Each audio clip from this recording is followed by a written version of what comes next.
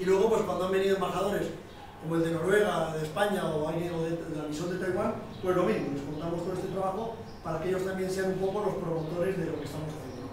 De hecho, el embajador de España, cuando regresó de acá, pues hizo un, puso un post en su blog donde comentó todo lo que había visto aquí relacionado con la tecnología. Luego, pues distintas publicaciones o noticias que hemos tenido en Prensa Libre, en nuestro diario, en el Diario de Centroamérica, en revistas que publicamos también, y estas son las presentaciones que os contaba, que os contaba antes.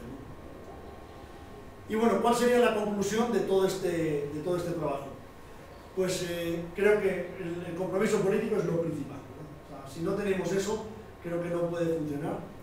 Eh, el nombramiento, como decíamos antes, de Armando de la Comisión de Tecnología y Sociedad de Conocimiento, el tener un equipo consolidado, el gestionar de manera apropiada la, información, el uso de las redes sociales y las herramientas de transparencia y gestión, el fomento de la participación ciudadana con todo esto y lo que es importante es que todo eso sea parte de una estrategia. Y eso, por eso os decía que desde que comenzamos con la OEA en el 2005, bueno, vamos construyendo esa estrategia y dando reforma. Todo esto con hechos aislados tiene un impacto muy reducido. Por eso comentaba antes lo de los portales, que de repente llega una institución y que haga 20 portales a 20 municipalidades. Pero al final sobre el portal, depende de quién lo administre y cómo lo administre, se puede morir. ¿no? Pero si tú englobas eso dentro de una estrategia de apoyo político, equipo técnico, eh,